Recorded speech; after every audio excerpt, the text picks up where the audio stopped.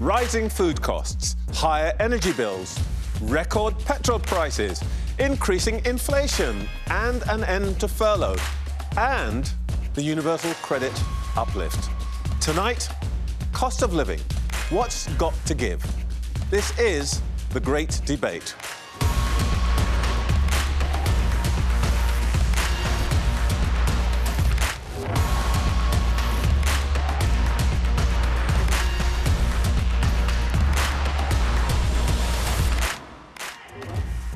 On the Great Debate, we get to the heart of the issue dominating the headlines.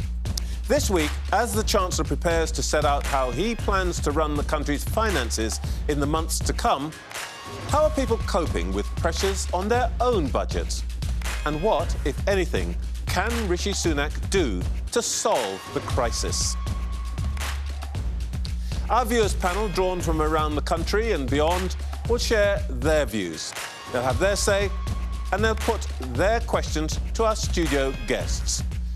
Joining us in the studio this week, Lord Bird, founder of The Big Issue, Director of the Institute for Fiscal Studies, Paul Johnson, Ella Whelan, journalist and co-convener of the Academy of Ideas Festival, and personal finance expert Emmanuel Asuquo. The big question facing them all tonight, cost of living. What's got to give? Let's go straight to the wall, to our viewers' panel, and let's talk to Denise Briginshaw in Essex. Denise, what's your take on this? Well, I was furloughed in the first lockdown. Then I was made redundant. Then at Christmas just gone, I um, was diagnosed with um, disabilities. I'm 54. I've paid in all my life my taxes, I've got my degrees, they say about this upskill, got all my degrees, got letters after my name, eh? but here I am on universal credit. And they've just taken £20 a week off of me. Now, I've had to make a decision, so I'm not going to put my heating on because they've just told me that's going to go from £70 a month to 160 So I will now be wearing more jumpers. In fact, that's what I do. I've got blankets on my sofa um, because I'm just too scared to put my heating on. And it's just not the heating, it's the electric as well. And I just feel really frustrated because there isn't a choice. I, you know, I'm stuck. I've got chronic pain. I'm I'm stuck at home. I'm stuck on universal credit, and I don't think the government's in the real world. You know, the people voted for the government they're supposed to, the, the, people voted for them, they're supposed to work for us, you know, but I just feel they've completely abandoned the reality of what we go through. Thank you for that, Denise. A dose of reality there. Let's go to Stephen Fairley. Stephen, you're in Bathgate in uh, West Lothian. That's correct. Uh, good evening, panel. Um, my question is, is this government going to help bring the cost of living down, or are we on our own? Why, why are you asking that, Stephen? When you say on our own, what do you mean? Well, I just feel as if, you know, I think we are indeed on our own. I think the government needs to look at stripping back on existing policies to help on housing, energy, childcare, and the rising cost of food. Uh, inflation's on the on the rise. Wages is, ri- is rising, but not at a, it's a slower rate than inflation and we've got labour shortages. And I think, from my own personal experience, I think uh, we are indeed on our own. I think uh, it's there's there's a big gap, and uh, it's it's sad to see, especially with the, the person who was just talking before me. You well, in fact, Denise was saying that she just feels that nobody really understands. Is that your feeling too? Absolutely. I think um, the government, uh, even local councils, I mean, local councils uh, are given a lot of law. You know, they're given a lot of laws. Uh, they can pass um, taxations on the, you know, the, the, you know, the council taxes, and they're they're they're not listening either. So it's not just the government, but it's also the councils as well could okay. could step right. in and help people within their constituency. Stephen, thank you. Let's take your question and put it to our studio guests. Stephen asks, will the government bring down the cost of living or are we on our own? John Bird. Well, I think the government has to bring down the, the cost of living. I think the, uh, I mean, I talk to the government every now and then, and they keep saying they put an enormous amount of money in the emergency, and they're in some senses reply, implying that they don't have the money for the recovery. So we have to look at this as a recovery period. So therefore, they have to carry on making the investment, because if they don't, then there will be an enormous hit on social services, on our schools, on our uh, NHS, and all the other parts of society. Uh, and so, therefore, they have to spend to save.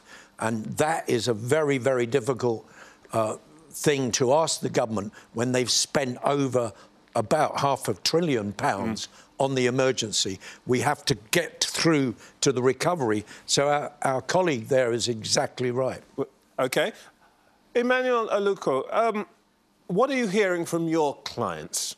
Because you're a finance expert, they come to you for advice? Yep, they come to me for advice and they definitely feel like they're on their own. And, you know, we have to look at ways to try and make it work for them. I think for the average person, we've seen discounts on, on stamp duty for people that want to buy a house. We've seen, we've seen pensions now being able to pass without paying any tax.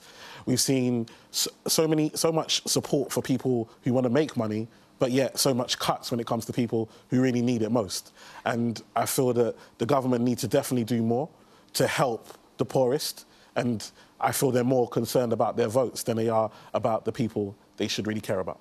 So your point is really not just privation, as it were, but also unfairness. Unfairness, completely. They're, they're, they're targeting, they're, we've seen over the last 12 to 18 months, the support and the help has gone to people who are making money as opposed to people who need the support. Paul Johnson, um, this is the world that you spend your life in. Do you recognise this picture? Yeah, I mean, we've had uh, big cuts in benefits over the last uh, four or five years. It's not just the failure to keep the £20 uplift in universal credit. The value of benefits has been cut by something like £12 billion over the last five or six years. So there's certainly been a push down on the incomes of people right at the bottom of the distribution. That said, there's a lot more people in work than there were four or five years ago, and the minimum wage is rising quite fast. So there is some offsetting impact there. What we're seeing right now, of course, is a, a push up in prices that we haven't seen actually for a really quite a long time, with inflation heading up towards 4 or even 5%. Now, that's not the levels some of us can remember in the 1970s of 20%, but that is still a big increase in costs. And to the extent that it's coming through things like fuel bills, which you heard about uh, just there, that has a much bigger effect on people on low incomes than it does on people on high income. So even if benefits mm. go up in line with inflation, that's still not going to be enough to make up for that additional cost for people who are on benefits. Ella Whelan, what, what do you make of it? Is government not doing enough? Or well, they seem to be playing two games at the same time that are contradicting one another. So, you know, whether it be the cut in the £20 for universal credit or the end of the furlough scheme, the message seems to be from the government that we're coming out of this pandemic. And as John says, you know, all emergency measures are now to be relinquished. Uh, that's the, that's sort of what they're suggesting. But at the same time, we've got this sword of Damocles held over our head in the form of Plan B. We've got now suggestion of future, if not lockdown, some kind of restriction, which tells everyone at home watching, oh, well, I better get uh, ready for another experience of what we've had in the last 18 months, which means, as Denise was talking about, redundancies, changes in people's ability to access, you know, the finer things in life, not just the basics, but actually have some leisure time, do something nice with your life and, you know, enjoy life.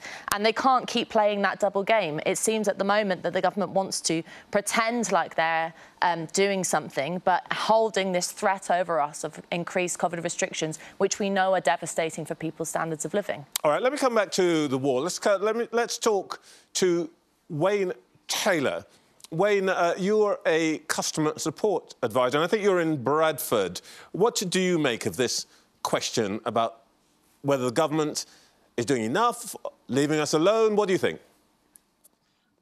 Um, to, to answer your actual initial question of what the um, program's based on, what's going to give, um, it's well, it's me, but I'm going to give um, because I do not think the government ever does enough. I think the government are there, they always look after themselves. They will always fill their own pockets with what they want, and they do not. I don't think any government, whether it's Conservative or Labour, actually cares about the average man. Myself, Trevor, I am not an average guy on the street. I earn a good living, I have a I have a good wage, and I love the finer things in life. But this past two to three weeks, I am now when I go shopping, I am picking um, off the shelf. I've got to check what I'm buying, and it's just I, I spent ninety five pound this week on a shop and that was literally for food to make the meals. I weren't, I didn't get any like the likes of biscuits, the like nice things that you want to be able to pick and what have you. And on petrol, 12 months ago, it cost me 48 pounds to fill my car. I went to fill up on Sunday and it cost me 65 pounds to fill my car. That's in 12 months. That is a 17 pound rise, and that's just shocking. OK, Wayne, you are clearly feeling the squeeze. Let's see how widely that view is reflected. Let's go to the wall. Uh, let's talk to our viewers panel. And I'm going to ask you all where you are on this. Those who think that we are now getting to the place where the squeeze is so extreme, government has to do something. We expect something from Mrs Sunak on Wednesday. Who thinks that the squeeze has got to the extreme place um, those who agree that it's gone too far. Looking at what the situation is today, hearing what you're hearing today, who thinks that between now and April, national insurance uh, uh, rise kicks in? Who thinks that they are going to have to make some actual changes to their spending patterns and what they do between now and April? Those who think they're going to have to make a change. OK, well, I think that's a pretty clear signal to the Chancellor that right now the country thinks that something dramatic is going to have to give. Emmanuel, is that... Do you, what do you think people can do about this? Oh, it's a hard question because everyone's finances is personal to them, and I think we have to reassess. I'm, I'm, I'm speaking to clients and saying, you know, we're coming up to Christmas. We got, we can't see this Christmas as we've seen other years. We have to look at cutting back, maybe look at a 30% reduction, really look at what's really important. I think we have to, we're going to have to make changes. We can't live how we lived before because we haven't experienced this type of climate, this type of environment before. And so changes have to be done. And it's hard because, especially after the year we've had, and, and the people, the loved ones that we've lost, Christmas, you really want to go out and you really want to enjoy it. But I, I just feel like that this is not the year to do that. Uh, Paul Johnson, do you think this is a temporary blip, or are we going to have to get used to the whole belt tightening thing? Well, we've sort of got used to it in the last 10 years and more. Don't forget, the last 10 years have seen the slowest growth in income and earnings that probably we've had in 200 years. So there's a sense in which this isn't terribly new. What, what, what, the bit that is new about this is that its price is going up. Rather, what we've seen over the past decade is prices going up a little bit and wages going up um, about the same rate, but but really slow growth. We up until 2010 we got used to getting better off year after year after year, and that sort of stopped for the last decade. So in that sense, it isn't that new, but it is different because we're seeing price of fuel, price of petrol, uh, price of um, food and so on going up. For some people, um, let, us be clear, for some people, this is going to be a great year or two because we're some bits of the labour market, some people on earnings are seeing genuinely seeing quite big uh, increases. Uh, but in other areas, they're not, and the, and the labour market's really struggling. And I think that's one of the things that the Chancellor's going to be wrestling with, and we all need to acknowledge. As Emmanuel was saying, everyone's different and um, circumstances are different, but actually it's more different at the moment because the economy is adjusting to COVID, it's adjusting to Brexit. The big changes, which normally take several years, are happening over a few months. OK, so something real is happening and we are going to have to work out what to do about it. We've been talking about the cost of living crisis, but is it being felt equally across the generations? That's coming up next.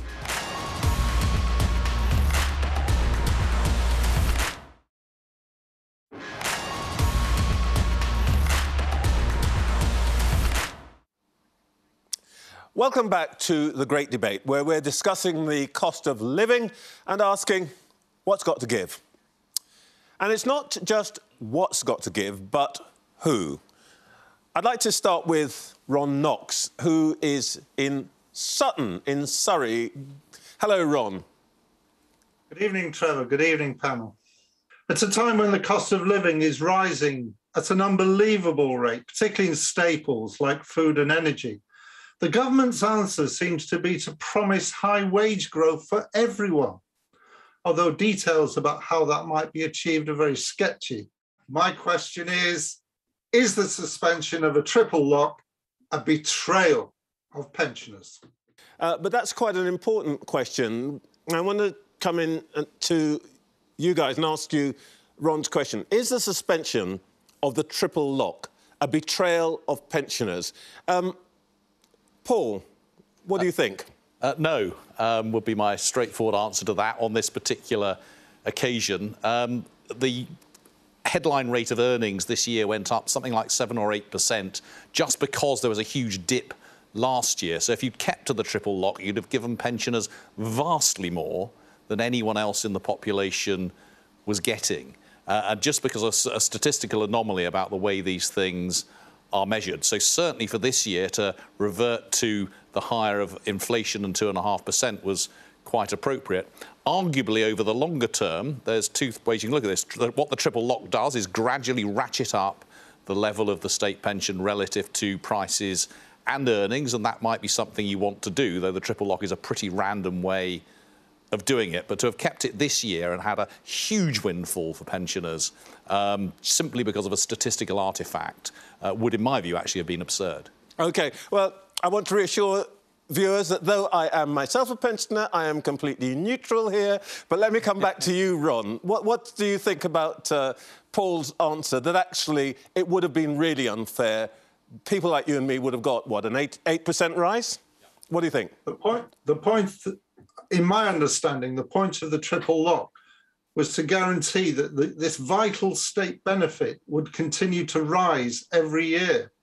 And, you know, the three measures of the triple lock uh, inflation, average earnings growth, or a flat 2.5% rise pensioners were promised that the highest of those three measures would be implemented.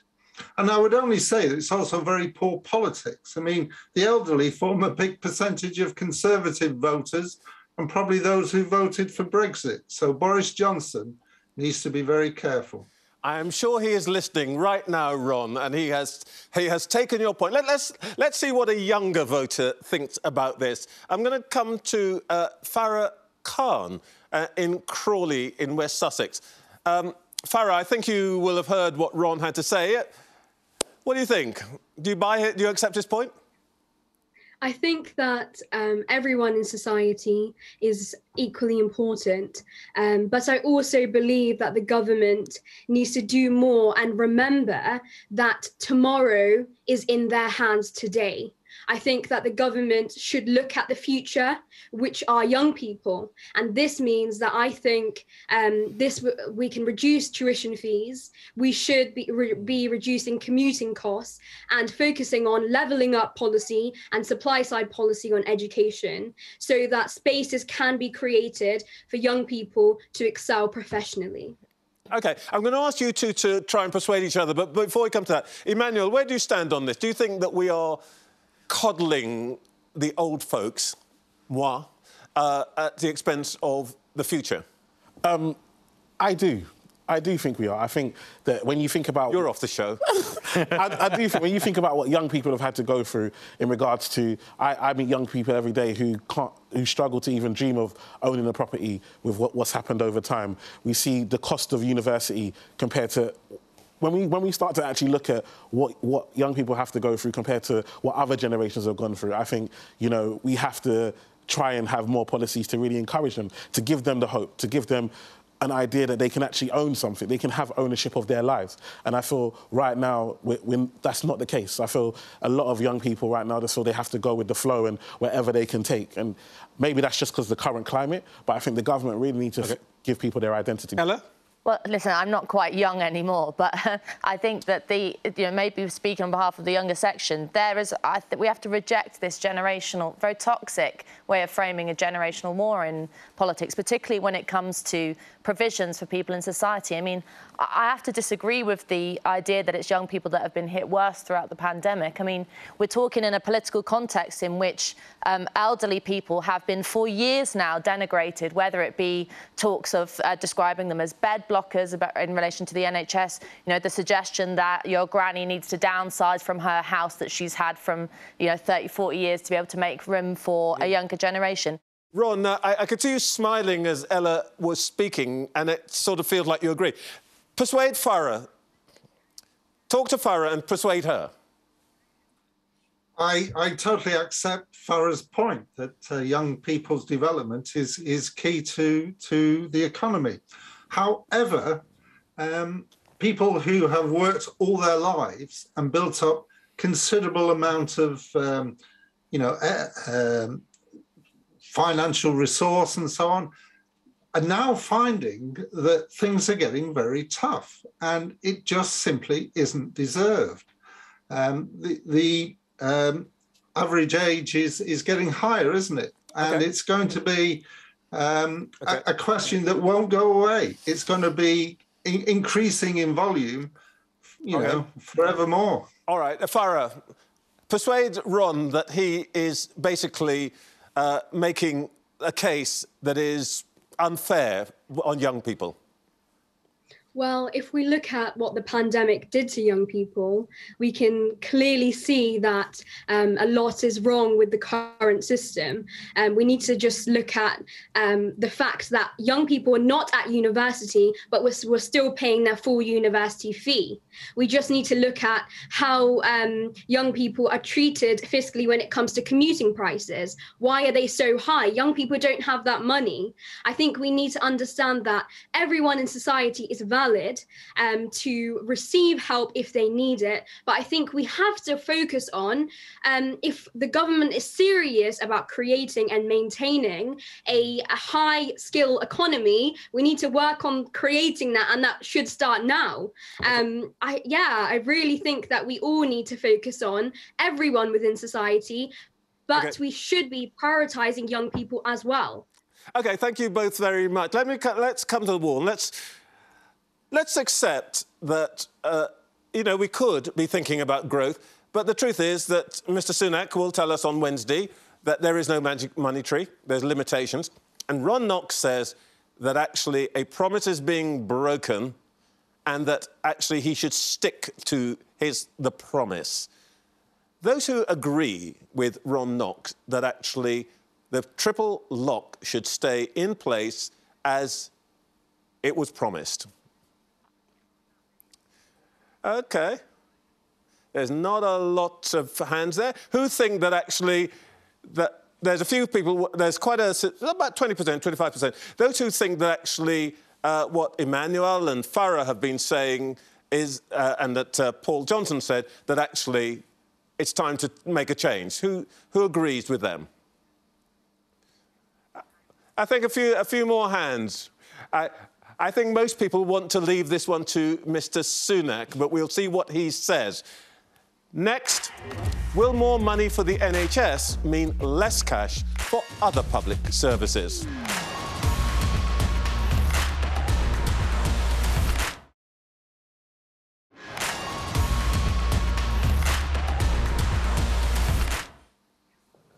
The cost of living, what's got to give? That's our topic on the great debate. The Chancellor will announce a £6 billion cash injection for the NHS this week to provide millions more checks, scans and procedures. But Rishi Sunak is facing calls for even more money for health, with waiting lists at a record high and tens of thousands of COVID 19 cases reported every single day. We'll hear from our viewers' panel on this in a moment, but first, I'm joined by Professor John Appleby, Director of Research and Chief Economist at the independent health think tank, think tank the Nuffield Trust. Uh, John, is the money that we hear that the Chancellor is going to shower on the NHS enough? Ooh, that's a very big question. Well, uh, just the six billion refers to uh, capital money. Uh, the NHS over the last few years has been spending about uh, seven or eight billion a year on capital, we don't know quite whether he's just carved up that money into um, some specific things to do with diagnostics and so on. Whether it'll be enough, that's a big open question. Um, uh, it's a, the choice is ours in a sense. Uh, how much do we want to spend? Um, we could spend all of our wealth on healthcare at some level. Um, so, but that means less spending on other things. So I think the question is open. Is there any limit to how much money we can pour into the NHS? I mean, some people would say that what's happening now is it's just sucking money in. Well, um, at the moment, we spend about uh, one tenth of our entire GDP on healthcare. That's public and private. About very roughly seven and a half, eight percent of GDP is on the NHS, and the rest is is private healthcare, including things you know buying pills from Boots and so on. Um, that, that's a that's a large amount of money. Uh, it's not out of line with other countries. We're about middle of the pack for our EU colleagues, uh, EU neighbours. Um, the US is a bit of an outlier with about almost verging on 20% of, of its GDP on healthcare.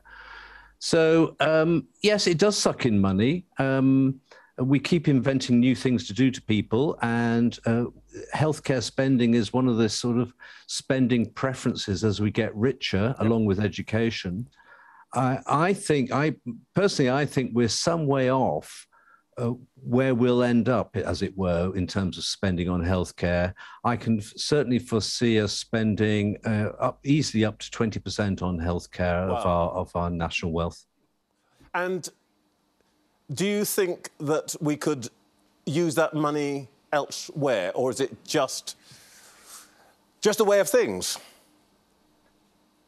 Well, you, you ask an economist, uh, you know, show me a benefit, I'll show you a cost, as it were. There's always a trade off here. So we could spend that money on other things. Um, you know, uh, we could spend much more money on education in this country. Um, um, and it's a very it's a very tricky thing with public spending. Who's making the decisions here? So, you know, it, we wouldn't be having this conversation about coffee. We don't have a minister of coffee who's setting a budget for how much we spend on coffee. But because it's public money and we gather taxes, somebody somewhere in the system, i.e., the government, has to make a decision about the next three, four years about how much we spend on healthcare. So we have to think about these things, and they're very they're very hard okay. things to think about in terms of you know the trade-offs that we'll have to make. Okay, John, um, thank you so much for that, making making it so clear. That's really helpful. Now, we have an economist in the studio, but I'm going to come to him after going to our viewers' panel and I am going to ask Alan Reevy. Uh, Alan, what are your thoughts on this question? The amount that we spend on the NHS? Well, it's uh, probably starving the other um, public sector services like education, as we've just heard. Uh, the development of infrastructure and policing is something which is certainly needs looked at. Um, so the, the health service seems to be just a bottomless pit, and uh, there's just no no plug in it. Um, I think the pandemic um, brought a lot of things to light. We had no PPE. We didn't have the money for PPE. Then these Nightingale hospitals just suddenly sprung up. Mm-hmm. So I think it's possibly a management uh, management of money issue, and uh, that's Rishi Sunak. Okay, and you've got a question that comes out of that for our studio. Is the NHS responsible for starving the other public sector services of funding? Okay, let's come back to studio. Alan asks, is the NHS responsible for starving other public sector services of funding? Well, we have the person, the perfect person to answer that question, Paul Johnson. Well, public uh, spending on public services is in the end down to government. So the NHS could cost all that it does at the moment, and we could have more money for other public services if government and electorate were willing to have higher taxes and spend more on other things. But the thing about the NHS is that it takes about £4 in every 10 of spending on public services at the moment. Uh, that's up from considerably less than £3 in every 10 just 20 years ago. So it's becoming a bigger and bigger part of everything that government does. And that's partly because um, when spending's going up, spending on health goes up faster than everything else. And of course, in the austerity years, spending on everything else went down while spending on health continued to rise. We have a uh, just to make that point yet again. We have a choice about how much of that money goes on health, how much it goes on other things, and how much we're willing to pay for it. Now, very often people say, look, very often in the UK we, we, we, we want European standards of public services with American levels of tax. Well, you can't have that. You either have European public services and European tax, and yes, they do Typically. have, which is typically considerably more than here, so that higher taxes and more money on public services, or we can decide to be a low tax economy, but if we're a low tax economy, we're also going to get low public services. Okay. John Bird, you're a legislator. I'm not. Well, I'm in the House of Lords and I look at the government's um, legislation, but I'm not in the government. I think the whole argument is being skewed, and it's been skewed for a considerable period of time. In 2010, the, uh, the austerity government, the coalition government, decided to cut all sorts of parts of, of the apparatus supplying the money that they gave local authorities. They were looking to save 7 to 9%. They end up saving 1.5%.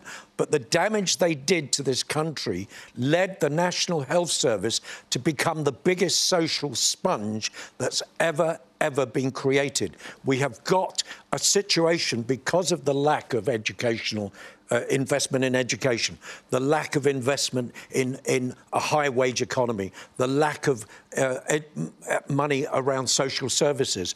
It's what it has. You've turned the National Health Service into a social sponge to soak up all of the problems that have been left by the government's cutting austerity. Okay. So if you really want, if we really want to do something, we need to reform the National Health Service so it doesn't have to pick up the tab for poverty because people going into the National Health Service are people often who are there because of poverty. I'm going to come back to our viewers and I want to talk to Gareth Kearns in Bromley. Gareth, I think Hi. you have a, a view about the spending on the NHS. Yeah, uh, uh, we can't afford to do without it because it is big, it is big. It is therefore able to mobilize economies of scale, which means it gets really good value for money. It gets things cheaper, drugs, etc. gets things cheaper. Compare it to America, it does it cheaper. And if you compare it to America, it actually produces better results on just about every level, apart from perhaps I think cancer recovery. I think cancer recovery, Americans are doing something better. But on just about every other outcome, we do better and we do better for less money. We're not paying dividends and we'd get those economies of scale. okay, Gareth. Ella, do you buy Gareth's argument? Well, that, that we, you know, all the the doing down of the NHS, which I agree with in a, in a, lot of ways in terms of it has become, as and John says, a bit of a sponge. You know, we forget that the idea of a social and collective provision of healthcare for everyone, free at the point of entry, is a is a thing that I politically believe in and that many people believe in. Mm. Um, it's something to be proud of. But the, one of the questions is, you know, be forgiven for thinking that the NHS was swimming in money because of all the cash that's been thrown at it. And you look and see that the there's a crisis in wages. Um, cleaners who we we've shown throughout the pandemic provide a, they get overlooked a lot, but provide one of the most basic and important roles for how a hospital runs properly. Of nurses, of midwives. I mean, uh, something that I know a little bit about fertility care for women in this country is abysmal. It's you know a postcode lottery, like many services. Emmanuel, should the NHS get more money without extensive reform? Um, no, simple answer. I think it is, is more about efficiencies. I think we have to look at the policies behind it, where the money's going, what's being done. I don't think there's enough accountability. Money just gets spent, and I don't feel people are held accountable. And there's no, OK, we made this mistake, let's not do it again. It seems like it repeats itself year on year. And until we start to actually have efficiencies where they actually publish where this money's going, who's accountable, what changes are going to be done to ensure that they're going to look after the money and resources that they're given, I don't think we should be pouring any more into it. After the break, more money for the lowest earners. But who's going to pay for it?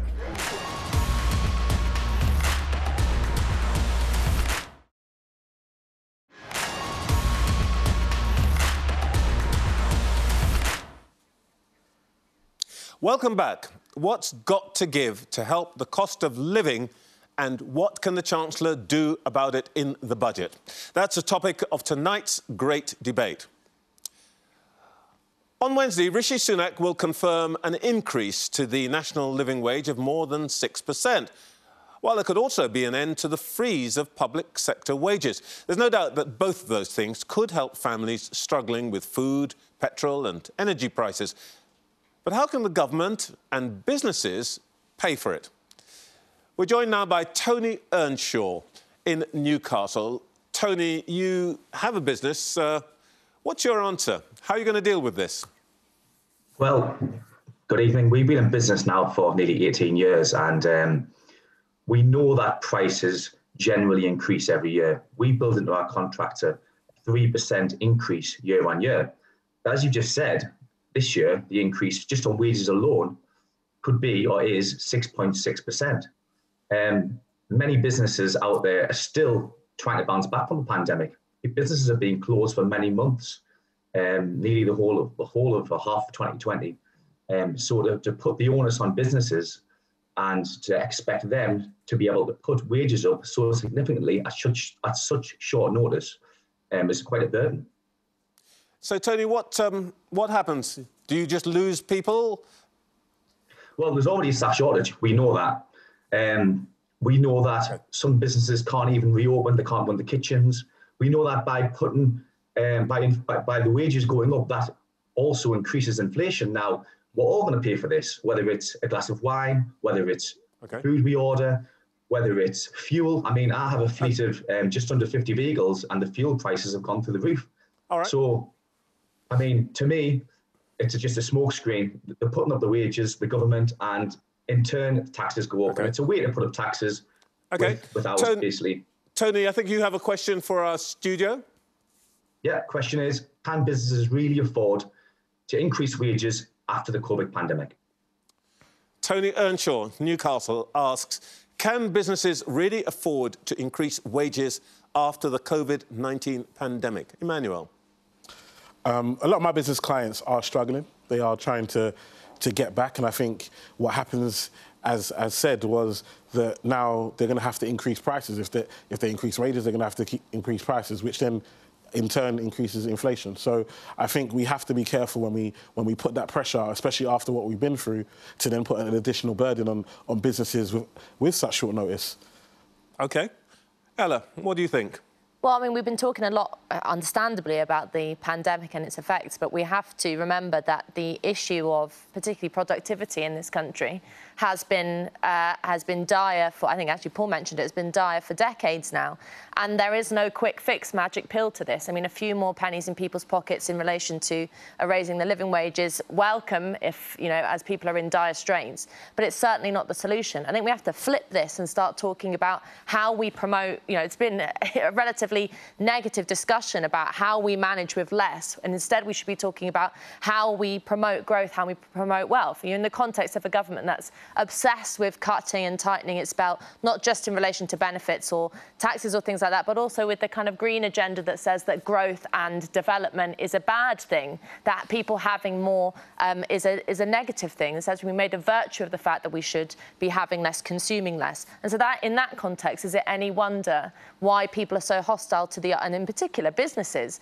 are so hostile to the idea of taking a bit of a risk. I mean, I know it's difficult okay. to talk about risk post-pandemic, but we have there has to be some addressing of the longer-term issues of the of productivity in this country, rather than playing around with a few pennies here or there. Okay. Uh, I'm going to come to Robin Gillingham in Devon. Ella says that we should be talking about growth and so on, but uh, Robin, what's your view about the, uh, about this? Are we being too gloomy, or what do you think we should be talking about?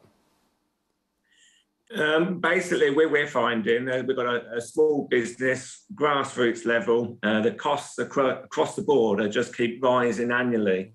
Uh, the only thing we can do now is pass that cost on to the end user. Um, you know, we've absorbed as much as we can. Margins are really tight. There's only so much you can do. So it's literally just got to be passed on. Don't want to, but that's the only way you can survive. And then you're having to compete with these large corporations that probably have a much better budget that can then afford to pay better wages than probably what the little small places can. and then you're having to compete against them as well to try and remain competitive. And so it's really tricky. It's a fine balance. So, is it your view that the Chancellor is wrong to raise the living wage uh, so sharply?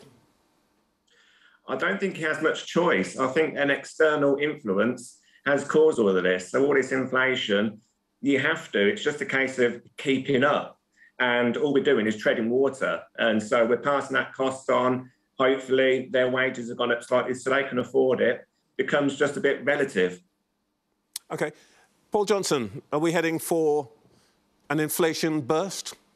Well, the increase in the minimum wage up till now have been incredibly successful. It's gone up an awful lot over the last 10 years, and that doesn't appear to have caused any problems with prices or unemployment. But going forward, there's a limit to this. And I think one of the real worries is it seems to be the only tool the government has at the moment. It's worried about people's uh, earnings, it's worried about productivity, and the main policy it appears to have is just to keep on putting the national living wage up. And at some point, as you've heard from a couple of your panelists, that's going to cause uh, that's going to cause real problems. In terms of its impact on inflation, what really matters, and I mean just to repeat the point, I suppose, is wages going up with productivity going up. In other words, if we're paying people more because they're doing more, that's fine. That won't impact inflation. But if you keep pushing wages up when productivity isn't going up, then that will, in the end, just result in higher prices. And that, I think, is the worry across the board at the moment. John Bird, last, last word. You've spent a, a lifetime worrying about the least fortunate in society. What does this mean for them? Well, the interesting thing about our economy, which for since the time of the Victorians has been a low wage economy. And if you have a low wage economy, then you have people who, when something uh, like the price of gas goes up, really hits them. And I think the government, what the government is trying to do is move people more to a higher wage economy. Mm-hmm. Now, at some stage, if we want to have more social opportunity and more eg- egalitarianism, then we do need to move to a higher wage economy. A higher wage economy that is, as Paul says, linked to higher pro- productivity. There is a joke that goes around that if you pay very, very low wages, then you will get very, very low uh, delivery. And we have to move into a high wage economy. In my opinion, I think the government should be the one that picks up this gap mm. because it's the government's responsibility to lift us out of this hundreds of years of low wage economy. OK, thank you. Let's just come back finally to the wall, to our viewers panel. I guess go back to, I suppose, the central question. Let's give the Chancellor some advice. Uh, he hasn't uh, actually said, we haven't heard it from his mouth, that he's going to raise this national living wage, so we're pretty sure that's what's going to happen. Is he right? Let's say, who amongst our viewers panel think that it is right and we can afford that 6.6% increase? Can I see those in who think it is right and we should afford it? Well, we're pretty clear we think he can and we should. Okay, that's it from us for tonight. I just want to say thank you to our panelists in the studio Paul Johnson, Emmanuel Asuquo, Ella Whelan, and John Bird.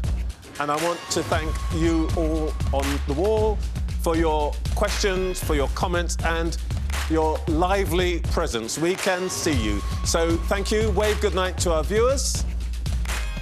Thank you so much, and thank you to all of you who've been watching at home. We'll see you again for next week's Great Debate.